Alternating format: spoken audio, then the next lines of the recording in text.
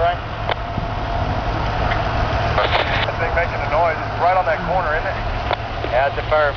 That's where I was trying to run through with Matt. Trying to stay ahead of this place. Uh, I hope it stays there.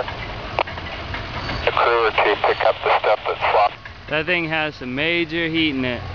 Yeah, you think? Hey, Matt, you're getting pictures of that, right? You know it.